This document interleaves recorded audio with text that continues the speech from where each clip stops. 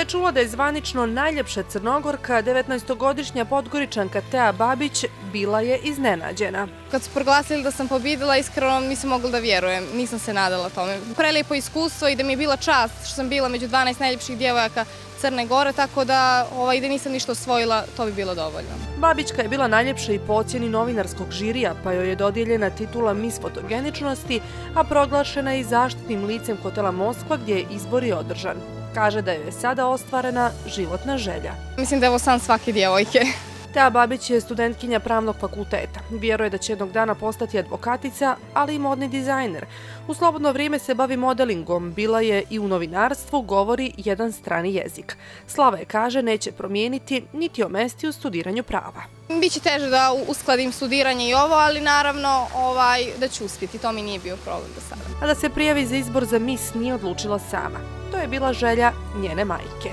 Mene je majka htjela da prijavi još prije dvije godine, ali bila sam premlada i onda ona insistirala da se sada prijavim i nekako ja sam bila da ili ne na kraju sam ipak otišla na casting. I nije se pokajala. Pripreme za izbor najljepše djevojke trajale su pet dana. 12 finalistkinja svakodnevno su vježbavale hodanje po pisti, koreografiju, nosile su kreacije crnogorskog dizajnera Dada Jovanovića, a među djevojkama ističe Tea nije bilo ljubomornih scena. Mi se nismo gledale e, kao konkurencija, nije bilo zavidnosti. Pripremale smo se u predivnom okruženju. Moram istići da sam stekla stvarno dobre prijateljice za tako kratko vrijeme. Titula prve pratilje pripala je Deli Zoranić iz Bara, dok je kotoranka Marijana Lalošević proglašena drugom pratiljom.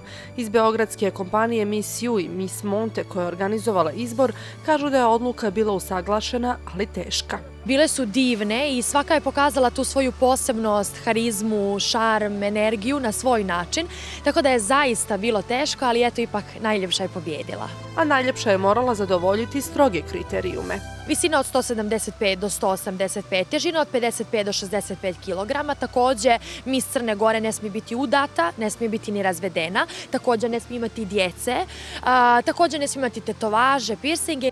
Tea sada ima punu godinu da se pripremi za Miss Svijeta 2017.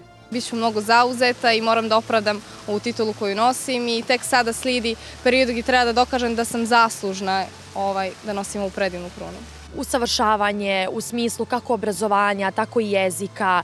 E, zatim, naravno, prisutnost u medijima i promovisanje naše zemlje. Njen život se već preko noći promijenio, a već e, da, kako budu dani prolazili, bit će izložena većem pritisku, komentarima. Kruna možda jeste prelijepa, ali ogromna odgovornost je ona koju ona nosi.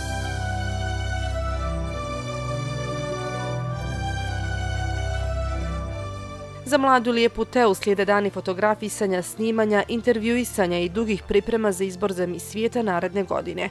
Njen zadatak biće da kao ambasadorka ljepote na najljepši mogući način predstavi Crnu Goru među više od stotinu zemalja svijeta.